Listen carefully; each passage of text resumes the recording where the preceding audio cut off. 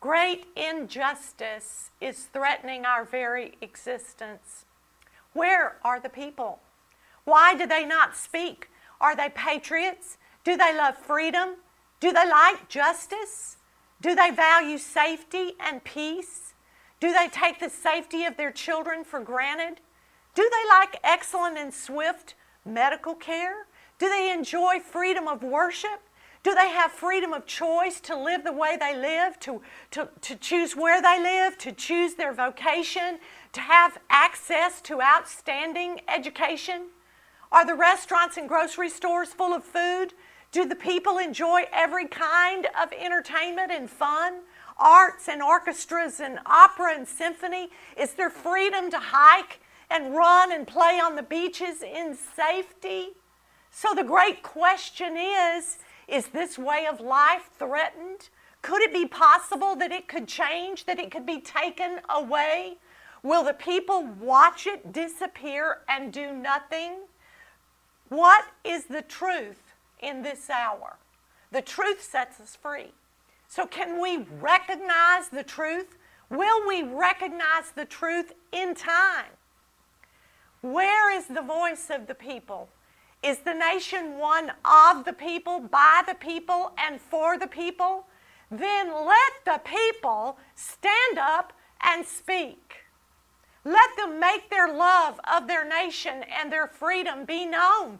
Let them voice their choice. Let them sing of freedom. Let them rejoice in the safety of their children and work to preserve that safety. Let them seek for truth and then act on it. There must be a rising up in this hour. There must be an awakening in this hour. Justice must be sought and grasped and prayed for and talked about and insisted upon.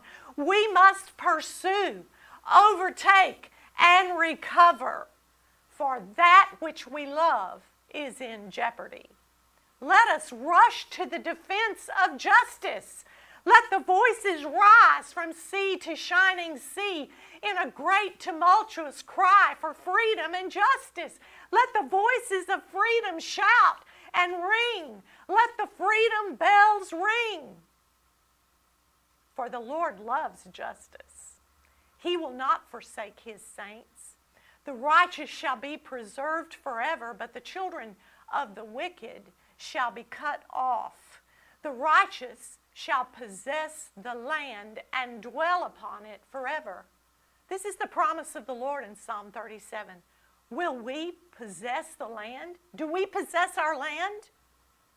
For the pillars of the earth are the Lord's, 1 Samuel, and he has set the world upon them. For he will guard the feet of his saints, but the wicked shall be silent in darkness. For by no strength shall man prevail, for by strength no man shall prevail. The adversaries of the Lord shall be broken in pieces. From heaven he will thunder against them. The Lord will judge justice, the righteous judge. He will judge the ends of the earth.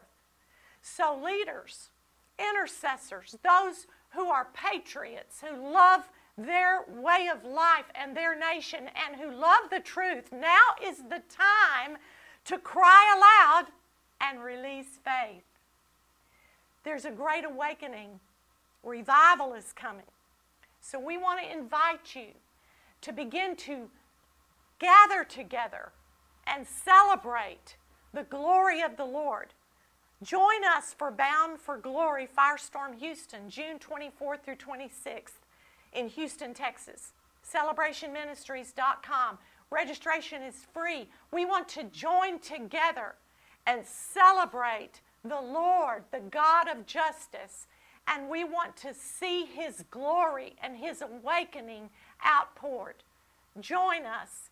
Join us as we pray and we cry aloud for freedom and justice in this hour.